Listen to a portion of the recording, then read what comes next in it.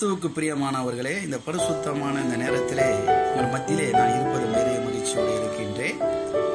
இந்த பரிசுத்தமான நாளிலே உங்களிடத்தில் நான் பேச விரும்புகிற வார்த்தை என்னவென்று சொன்னால் இறைமியா மூன்றாவது அதிகாரம் பதினைந்தாவது வசனத்தை நாம் பார்க்க போகிறோம்.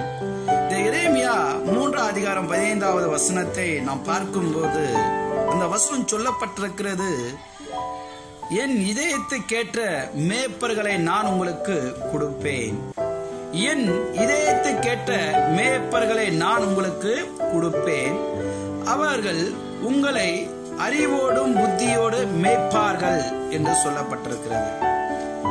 அருமையானவர்களே இந்த கடைசி நாளிலே நம்முடைய கிறிஸ்துவ வாழ்க்கையிலே ஒரு பரிசுத்தையும் ஒரு பாதுகாப்பையும் ஒரு ஆசீர்வாதத்தை நாம் பெற வேண்டும் என்று சொன்னால் நம் அறிவோடு புத்தியோட நம்மை மேய்க்கிற ஒரு மேய்ப்பர் நமக்கு தேவையா இருக்கிறது.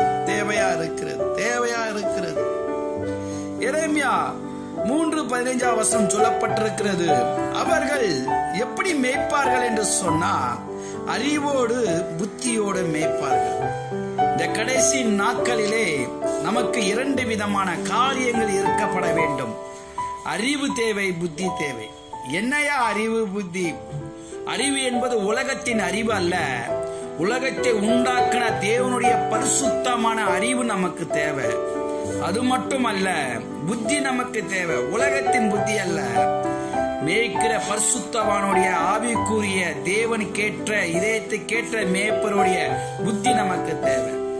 இந்த பரிசுத்தமான இந்த நேரத்திலே இந்த மேய்க்கிற இந்த மேய்ப்பரை நமக்கு தெரிந்து கொள்ளும் போது நம்முடைய கிறிஸ்துவ வாழ்க்கையிலே ஊழியங்களிலே தேவன் நம்மை வல்லமையாக பயன்படுத்துவா அவருடைய நாமத்திலே நம்மை மகிமைப்படுத்தி அவர் ராஜ்யத்தை கட்ட தேவன் நம்மை வல்லமையாக பயன்படுத்துகிறவராக இருக்கிறார்.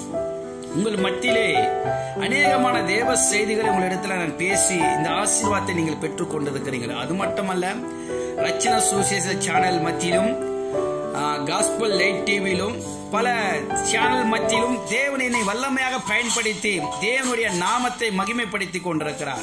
அது மட்டுமல்ல அநேகமான தேசங்களிலும் அநேக ஆந்திரா மாநிலத்திலும் பல இடங்களிலும் தேவனுடைய நாமம் மகிமையோட வார்த்தையோட அபிஷேகத்தோட தேவன் நடத்தி தேவ ராஜ்யத்தின் ரகசியத்தை குறித்து ஆவியானவர் என்னோட இடைப்பட்டு பேசுகிறார். அதுக்கு காரணம் என்ன தெரியுமா? என்னை மேய்க்கிற மேய்ப்பர். என்னை மேய்க்கிற மேய்ப்பர். என்னுடைய மேய்ப்பர் எப்படி இருக்கிறார் என்று சொன்னா என்னை நடத்துற மேய்ப்பர் என் ஆண்டவர் இதயத்தை கேட்ட மேய்ப்பரா இருந்து என்னை அறிவோடும் புத்தியோடு மேய்ப்பதினாலே இந்த நாளிலே பல இடங்களிலே தேவன் என்னை வல்லமையாக பயன்படுத்துகிற தேவனா இருக்கின்றார் தேவனா இருக்கின்றார். வேதத்திலே நான் ஒரு காரியத்தை உங்களிடத்திலே நான் சொல்ல விரும்புகிறேன். தாவிதை குறித்து உங்களுக்கு நல்லா அறிந்திருப்பீர்கள். தாவிதுடைய வாழ்க்கையை பார்க்கும்போது ஆடு மேய்த்து கொண்டிருக்கிற மனுஷன்.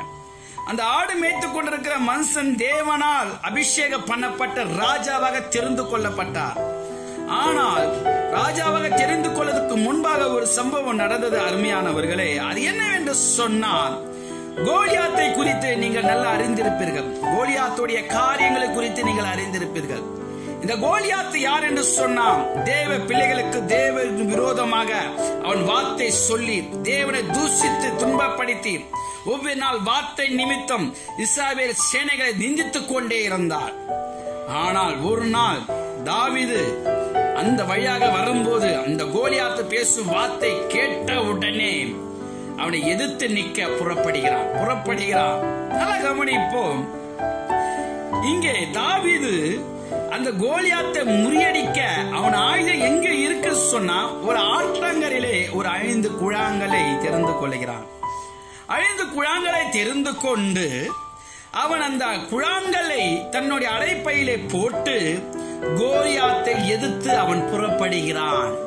புறப்பட்ட பிறகு அந்த கோலியாத்தை எதிர்த்து நிற்க அந்த அடைப்பையில் இருக்கிற குழாங்களை எடுத்து அந்த கோலியாத்தை முறியடித்துகிறான் முறியடிக்கிறான். நல்லா கவனிக்கப்பட வேண்டும்.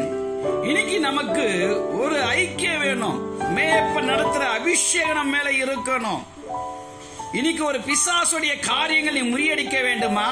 உன்னுடைய ஊழியத்தின் பாதையிலே தேவன் வல்லமையாக பயன்படுத்தப்பட வேண்டும் என்றால் நீ தாவிதை என்ன செய்தாரோ அதன்படியே நீ முறியடிக்கப்பட வேண்டும். தாவித என்னையா செய்தார் என்று பார்க்கும்போது அவன் கோலியாத்தை முறிக்க ஒரு கல்லை திறந்து கொண்டான். எங்க திறந்து கொள்கின்றான் ஆட்டங்கரையில அந்த ஆட்டங்கரையில கல்லை திறந்து கொண்டு தன் அடைப்பையிலே போட்டான்.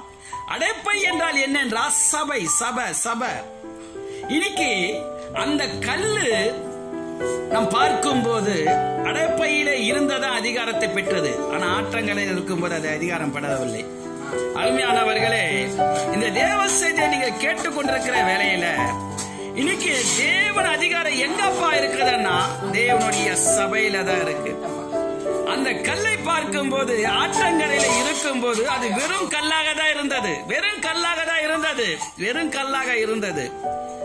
ஆனால் அந்த கல்லுக்கு எங்க அதிகாரம் கிடைத்தது என்றால் அடைப்பையிலே வைக்கும் போதுதான் அதிகாரத்தை பெற்றுக்கொண்டார் அதிகாரத்தை பெற்றுக்கொண்டார் அந்த கல்லை எடுத்தான் கோலியாத்தை முயடித்தான் இதிலிருந்து என்ன தெரியுது என்று சொன்னால் நம் சபையில ஐக்கியத்தோடு இருக்கும்போது நம் இதயத்தை கேட்ட மேய்ப்ப நம்மை அறிவோடும் புத்தியோட மேய்ப்பார்கள். அருமையானவர்களே என்னுடைய வாழ்க்கை ஒரு சாட்சி உங்களிடத்தில் நான் பகிர்ந்து பேச விரும்புகிறேன். என் வாழ்க்கையிலே பார்க்கும்போது என் ஆவிக்குரிய தகப்பனார் என்னை நடத்தின தகப்பனார் மறித்து விட்டார். என்னுடைய ஊழியத்தின் பாதையிலே எப்படி நடக்க வேண்டும் என்று சொல்லி எப்படி நான் நடக்க வேண்டும் நடத்த வேண்டும் என்று அறியாத நேரத்திலே ஊழியத்தின் பாதையிலே போராட்டத்தின் மத்தியிலே நான் ஜெபித்துக் கொண்டிருக்கும் போது தேவன் இறைமையா மூன்று பதினைஞ்சு வசனத்தின்படி இதோ என் இதயத்தை கேட்ட மேய்ப்பர்களை நான் உங்களுக்கு கொடுப்பேன். அவர்கள் உன்னை அறிவோடும் புத்தியோடு மேய்ப்பார் என்று இந்த வேத வார்த்தை எனக்கு தேவன் எனக்கு வெளிப்படுத்தினார் வெளிப்படுத்தினார் வெளிப்படுத்தும் போது நான் அந்த வசனத்தின்படியே ஜெபித்த பிறகு நான் அதிகாலையிலே எழுந்து நான் வெளியே புறப்படும் போது வெளியிலே ஒரு வாகனத்தை கண்டேன். அந்த வாகனத்திலிருந்து இரண்டு பேர் இறங்கினார்கள். ஒன்று ஒரு பாஸ்டர் இறங்கினாரு. ரெண்டாவது பாஸ்டர் அம்மா இறங்கியிருந்தாங்க வெள்ள வஸ்திரம் தெரித்த இரண்டு பேரை நான் பார்த்த உடனே ஓடி போய் ஐயா ஸ்தோத்ர ஐயான்னு சொன்னேன். அவர் என்னை பார்த்த உடனே தம்பி நல்லா இருக்கிறியாப்பான்னாரு நல்லா இருக்கிற ஐயான்னு ஆனா எனக்குள்ள ஆவியானர் பேசினார் இறைமையா இதோ நான் சொன்னபடியே என் இதயத்து கேட்ட மேய்ப்பர் இவரே என்று சொன்னார். உன்னை அறிவோடும் புத்தியோட மேய்ப்பார் என்று சொன்னார். அதன்படியே அந்த நாளிலே நான் சபைக்கு சென்றேன். அவர் எனக்கு மேப்பரா இருந்து என் அறிவோடும் புத்தியோட மேய்த்து கொண்டிருக்கிறார். அந்த சபையோட பேர் என்ற என்னவென்றால் பரிசுத்த மகா பருவதக சபை. அந்த சபையிலே பாஸ்டர் ஜோசப் பிரியகுமார் ஐயா அவர் மூலியமாக என் அறிவோடும் புத்தியோட மேய்த்து இன்று நாம் பல இடங்களிலே பல தேசங்களே தேவன் என்னை வல்லமையாக வழி நடத்தி கொண்டிருக்கார் இன்னைக்கு நம்ம சபையில இருந்தாதாங்க நமக்கு அதிகாரம். இன்னைக்கு நம்ம ரெவரண்டா இருக்கலாம். தீர்க்கதர்சம் உரைக்கலாம். பெரிய இடங்களில் அற்புத அதிசயங்கள் நடக்கலாம் எழுப்புதல் கூட்டங்கள் நடக்கலாம். ஆனால் நமக்கு ஒரு சபை என்ற ஒரு மேய்ப்பர் என்ற ஒரு ஐக்கியம் நமக்கு தேவைப்படுகிறது. அந்த சபையின் ஐக்கியத்தோடு நாம் செயல்படும் போது சபை மேய்ப்பருடைய சத்தத்தின்படி நாம் செயல்படும் போது நம் சத்துருடைய வல்லமை மேற்கொள்வோம். கோலியாத்தை முறியடிக்க ஆட்டங்கரையில் இருக்க கல்ல கையில எடுத்து நேரா கோலியாத்தை முறியடிக்கல. அந்த ஆட்டங்கரை கல்லை எடுத்து அடைப்பையில போட்டு அடைப்படியிலிருந்து எடுத்து கோலியாத்தை முறியடித்தார். இதுல இருந்து என்ன தெரியுது என்றால் கல்லு வெளியே இருந்தா தகுதி அல்ல. கல்லு பைக்குள்ள இருந்தாதா? சபைக்குள்ள இருந்ததா அதிகாரம்? இன்னைக்கு அநேக பரிசுத்தவான்கள் அநேக ஊழியக்காரர்கள் ஏன் தன்னுடைய தரிசனத்தை இழந்து போகிற காரியம் என்ன? பின்மாற்றத்து போற காரணம் என்ன? ஊழியத்தில் ஆசீர்வாதம் இல்லாத காரணம் என்ன? நடத்துற மேய்ப்பர் இல்ல. மேய்ப்பர் இல்ல. தன்னைத்தானே குறித்து பேசிக் கொண்டிருப்பார். ஆனா தன்னை நடத்துற ஒரு மேய்ப்பு நமக்கு தேவை.